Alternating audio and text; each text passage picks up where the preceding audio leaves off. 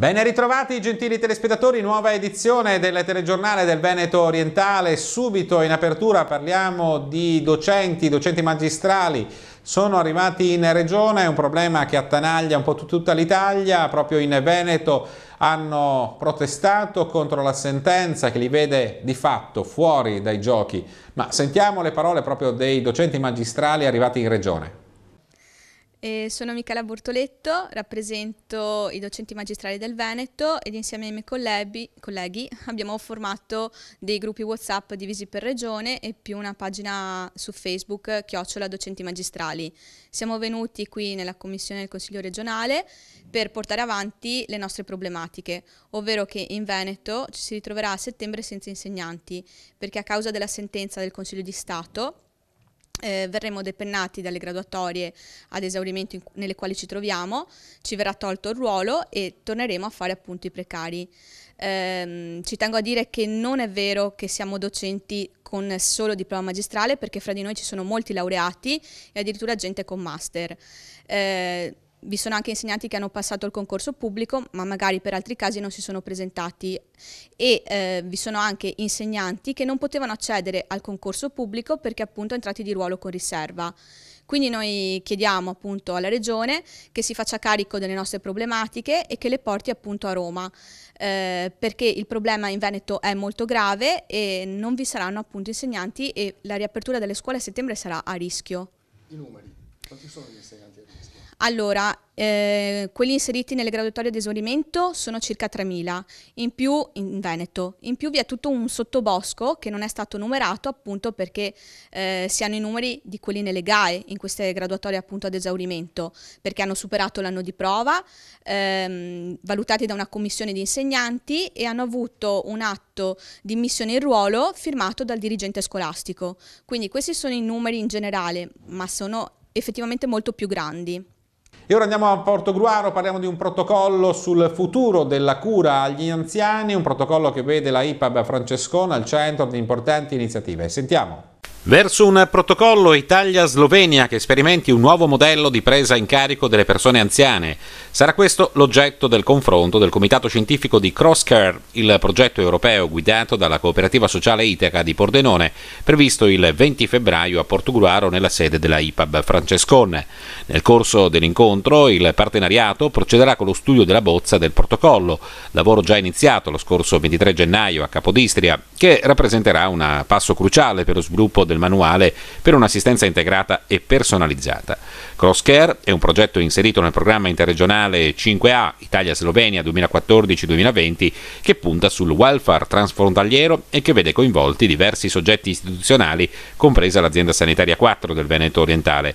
Durante l'ultimo incontro in Slovenia, i delegati hanno analizzato l'Organizzazione Europea di Welfare, identificando quattro sistemi, per ognuno di essi, tedesco, conservatore, inglese liberale, scandinavo e mediterraneo, sono state prese in considerazione le caratteristiche principali, con punti di forza e di debolezza, con l'obiettivo di raccogliere gli elementi necessari per progredire con la ricerca. Altro punto focale del summit, la individuazione degli strumenti di valutazione delle funzioni cognitive o della capacità di eseguire attività di base da parte di persone anziane fragili. Crosscare prevede anche l'avvio di una sperimentazione di ausili tecnologici domiciliari che permettano di registrare in tempo reale informazioni sulle attività dell'anziano. Oltre a ciò verranno attivati punti di servizio rivolti agli anziani e alle loro famiglie all'interno della casa di riposo. Sempre meno pesce conferito al mercato ittico di Caorle, ma il prezzo di vendita all'ingrosso rimane competitivo e questo è il punto principale che emerge dal bilancio del triennio 2015-2017 del mercato comunale, a balzare all'occhio è la progressiva riduzione delle quantità di pescato vendute all'ingrosso nella struttura di riva delle Caorline. Se a fine 2015 verranno trattati 206.241 kg, insomma 206 tonnellate, a fine 2016 il saldo si era ridotto a 188 e al 31 dicembre dello scorso anno la quantità è stata ancora inferiore, 158 tonnellate, ovvero circa eh, sì, 158.000 eh, kg. In tre anni la flessione quindi sfiora il 25%, due sono i fattori che hanno determinato eh, questa spirale, da una parte la minore pescosità dell'Adriatico dall'alto e soprattutto la progressiva diminuzione delle imbarcazioni che conferiscono il pesce al mercato. Oggi sono solamente una ventina i natanti tra motopescherecci e piccole imbarcazioni che lavorano nelle acque interne del comune e che collaborano con la struttura. A contribuire alla riduzione vi è stata inoltre la demolizione negli ultimi mesi dello scorso anno di quattro imbarcazioni che fino a quel momento attraccavano alla riva delle Caorline. Ora andiamo a Jesolo, parliamo di quei fratelli che erano stati separati dalla nascita, poi adottati, sono sette e si stanno tutti ritrovando.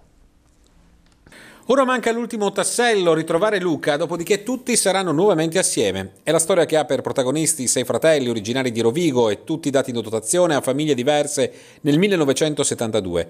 Solo una settimana fa a Jesolo si sono riunite le tre sorelle, Annalisa Pan, 46 anni, adottata da una famiglia di Cittadella, trasferitesi recentemente a San Martino di Lupari, quindi Belinda e Monica Nardin, rispettivamente di 47 e 50 anni, adottate da una famiglia di Cavallino Treporti, dove continuano a vivere. Dopo gli abbracci e l'infinita gioia, gioia, le ricerche sono continuate per i tre fratelli maschi. La nuova svolta è arrivata nell'ultima settimana. Annalisa ha ritrovato Marco, 55 anni, il più vecchio dei sei, che vive a Bazzano, in provincia di Bologna. Belinda era riuscita a trovare anche Mauro, 52enne, residente a Vigonovo. Nel primo caso l'aiuto è arrivato da chi l'ha visto, che si è occupata della vicenda. Un parente di Marco, venuto a conoscenza della storia, ha chiamato Rai 3 dicendo che poteva essere uno dei fratelli. Giusto il tempo di fare le opportune verifiche e Annalisa ha ricevuto la conferma, ovviamente con tantissima emozione. Sempre al telefono si sono sentiti anche Belinda e Mauro. A favorire il contatto sono stati poi i social e in particolare l'appello scritto sulla pagina Figli adottivi cercano genitori biologici. Un utente mi ha indicato il nome di Mauro, racconta Belinda, ho provato a contattarlo attraverso i social, ma inizialmente senza successo. Per questo mi sono rivolta a un suo amico che mi ha aiutata dandomi il numero del telefono di Mauro. Gli ho scritto un messaggio al quale mi ha risposto che lui era la persona che stavo cercando. A quel punto l'ho chiamato, è stata la telefonata più bella della mia vita. Sentire la sua voce è stata un'emozione intensa. Tutto quello che stiamo vivendo in questi ultimi giorni è travolgente. Ho sempre desiderato ritrovare i miei fratelli, è un sogno che si sta concretizzando. Oderzo sempre più la cura del verde, c'è un bando per le COP eh, sociali, sentiamo. Sono stati piantati diversi cipressi in via Altinate laddove c'erano dei pioppi che sono stati abbattuti perché presentavano diversi problemi. Nel frattempo il comune di Oderzo ha emesso un avviso esplorativo per capire se ci sono cooperative sociali interessate a ottenere in affidamento il servizio di manutenzione del verde pubblico. Le domande devono essere presentate entro il 23 febbraio. Le nuove piante saranno messe a dimora sia lungo i viali dove gli alberi già ci sono, sia a lato di strade dove mancano. È il caso di Via dello Scautismo, dove sono previsti dei cipressi. Altri interventi sono previsti in Viale San Pio X a Colfrancui, in Viale Città di Pontremoli, nei pressi del Pala Masotti, nel parcheggio delle scuole medie a Malteo. Nelle vie Postume di Camino, Postume di Fratta, Via Verdi, l'obiettivo è quello di ripristinare la continuità esistente, ha spiegato l'assessore all'urbanistica Vincenzo Artico. Un intervento specifico è previsto per Viarino e Arturo Simonetti. Qui sarà messa a dimora una ginkgo bilboa, che è una pianta eh, importante affiancata da ornielli, olmo comune e gelso nero. La messa a dimora di nuovi alberi raggiungerà pure le frazioni, come la strada che porta al cimitero di Colfrancui, via Miganza verso Fae. Le specie che saranno utilizzate sono frassino maggiore, leccio, acero campestre, biancospino, bagolaro e tiglio. Il patrimonio verde è importante e l'appalto per la sua manutenzione è una voce che pesa sul bilancio comunale. Lo scorso anno, ricorda Artico, abbiamo avuto dei problemi con la manutenzione dei cigli stradali. Quest'anno non sarà più così perché la gara che verrà svolta non sarà più al massimo ribasso. Per il 2018 chiederemo l'offerta più vantaggiosa. Uno dei requisiti richiesti alle cooperative è che abbiano fra i loro lavoratori soci persone diversamente abili o comunque svantaggiate. In questo modo, sottolinea Artico, puntiamo a coinvolgere la comunità dando un'occupazione a chi ha delle difficoltà. Ennesimo tutto esaurito al Teatro Comunale Luigi Russolo di Portogruaro per la messa in scena del Padre, uno spettacolo inserito nel cartellone dedicato alla prosa della stagione teatrale 2017-2018 organizzata dalla Fondazione Musicale Santa Cecilia. Protagonisti della serata due volti noti dello spettacolo italiano, quale Alessandro Haber e Lucrezia Lante della Rovere che per la regia di Pietro Maccarinelli con elegante ironia hanno recitato un testo che propone una riflessione profonda sui problemi legati al morbo di Alzheimer e Maurizio Conti è andato a sentire lo stesso Alessandro Haber. con Alessandro Haber, uno dei volti più noti del teatro e dello spettacolo italiani, questa sera a Portogruaro per la messa in scena de Il Padre, uno spettacolo che già ha riscosso un grande successo in passato sia in Francia che in Gran Bretagna. Ecco, uno spettacolo che parla di cosa? vorrei fare un inciso che sta avendo un grande successo anche in Italia, perché questo è il secondo anno che lo facciamo, lo faremo anche per il terzo anno e forse anche per il quarto, lo vogliono tutti, uno spettacolo fantastico, eh, meno male.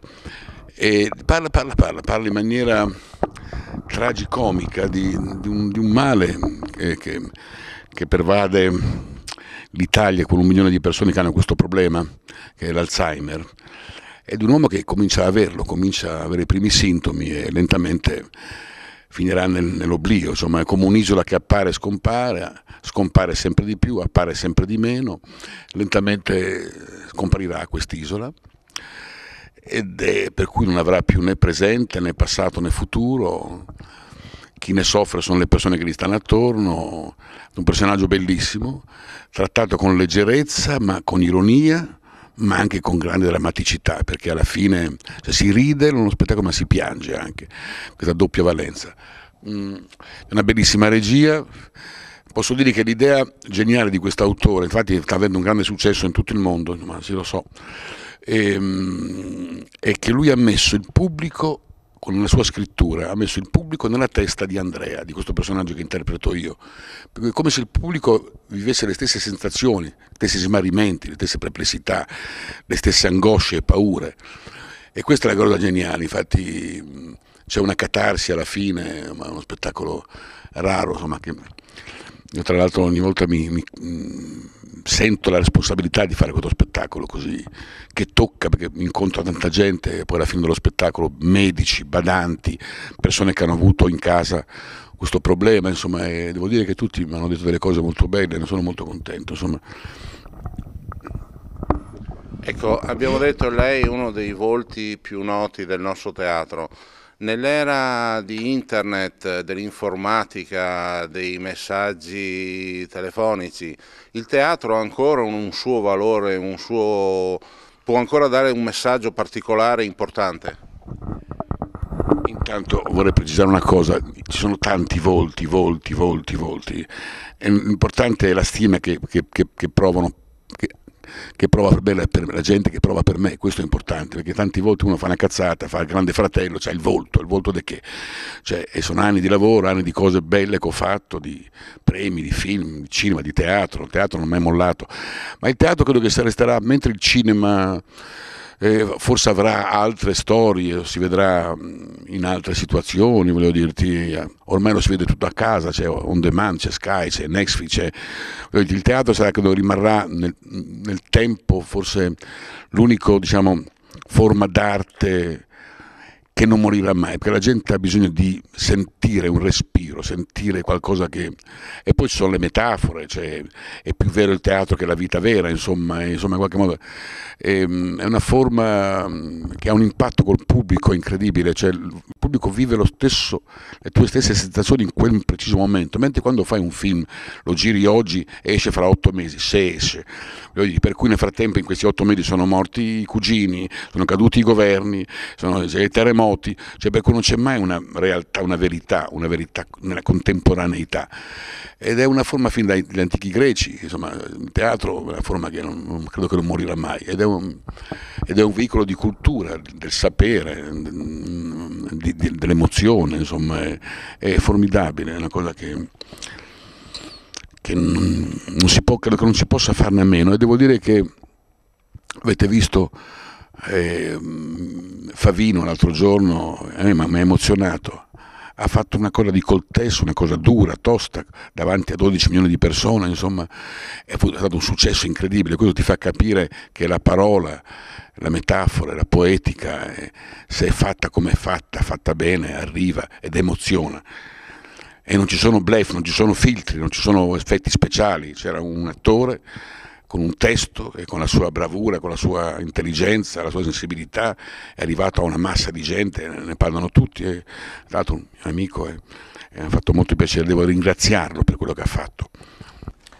E ora andiamo nel pueblo Pitergino Mottense, il controllo del vicinato scatta anche a Ponte di Piave, l'amministrazione ha promosso il progetto e programma un incontro pubblico per il primo marzo, come sperimentato del resto in diversi altri comuni della Marca, l'iniziativa prevede il controllo da parte dei residenti delle varie strade cittadine. Se qualcuno nota qualcosa di sospetto, insomma, lo potrà segnalare al responsabile di zona che farà da tramite con le forze dell'ordine.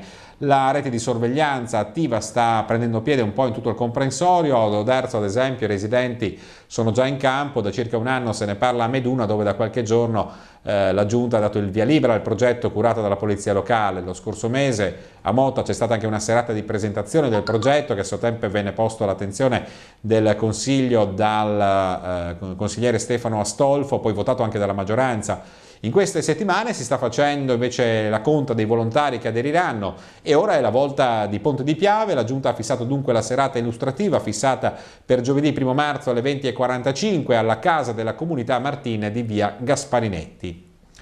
Subito a Meolo parliamo di assistenza domiciliare, una cessione dell'assistenza domiciliare che passa eh, di mano e a quanto pare non piace soprattutto alla minoranza. Sentiamo. Dal 1 marzo arriveranno nelle case di 48 utenti a Meolo dei nuovi operatori di assistenza domiciliare. Il comune di Meolo ha infatti deciso di privatizzare il servizio e ha pubblicato il bando d'appalto per 12 mesi, 72 ore alla settimana, ad un costo di 72.000 euro.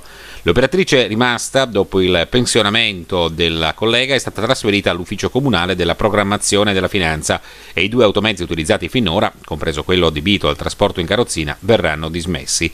Chiudere il servizio comunale determinerà un aumento dei costi di 35-40 mila euro senza alcun incremento dei servizi, sostiene Filippo Mariuzzo, portavoce della lista civica Scelgo Meulo 2019, calcolando il costo dell'appalto più quello dell'operatrice ricollocata in municipio, operatrice che, sempre secondo Mariuzzo, poteva essere assorbita dal nuovo gestore privato o continuare il lavoro, visti i 18 anni di attività e la profonda conoscenza dei casi, se l'amministrazione comunale avesse optato per il servizio in convenzione con altri comuni, come proposto dalla stessa Civica.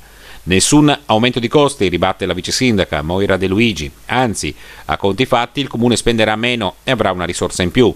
Saranno infatti a carico della cooperativa che otterrà l'appalto non solo il lavoro delle operatrici, ma anche le spese per gli articoli di consumo, quali guanti, detergenti, indumenti del personale che prima pagava il comune e soprattutto non si porrà più il problema delle sostituzioni in caso di malattia o ferie. Inoltre avremo la possibilità di collocare in un ufficio comunale importante l'operatrice rimasta, vista la sofferenza di organico, anche se inizialmente seguirà la cooperativa per il passaggio di consegne. E i mezzi che venivano usati nell'ambito del servizio erano da rottamare. Se fosse continuato il servizio avremmo dovuto acquistarne di nuovi, ribadisce ancora la vice sindaca, così invece saranno a carico della cooperativa. I 72.000 euro coprono molte delle spese extra, non solo il costo dei due dipendenti, come vuol far credere l'opposizione. Nuovi spogliatoi e docce per lo stadio Silvestri di Fossalta di Piave, l'opera del costo di 250.000 euro è sostenuta per intero dal comune che ha sottoscritto un mutuo con la Cassa Depositi e Prestiti. Il progetto di ristrutturazione è stato affidato all'ingegnere Otello Bergamo di Jesolo, presto sarà pronto anche un bando della città metropolitana, stazione unica appaltante per poter procedere all'affidamento dei lavori. La riqualificazione, che prevede la demolizione delle suppellettili esistenti, dovrebbe essere avviata nel giugno di quest'anno ed essere completata nell'arco di un anno. Vinicio Scortegagna adesso arriva con Fotoreporter, scatti dal territorio.